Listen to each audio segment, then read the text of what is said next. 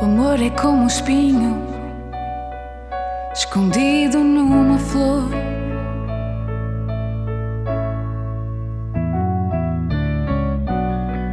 Que consome por dentro, mesmo sendo bom o sentimento.